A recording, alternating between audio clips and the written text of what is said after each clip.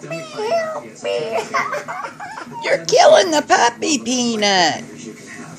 So the chances of you surviving from this, even if you get to the hospital, are pretty remote because they still have to be able to I don't think they you still can have to be able to get get you to the operating I room don't before think you can before get you me. bleed.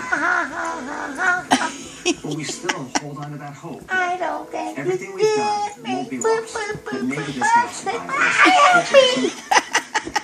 You should I be really don't proud. think you get Everything humanly possible. boop, helped boop, boop, boop, boop. Well, it wasn't to save I him. don't think you can get Maybe not. Boop, Ow! Ow!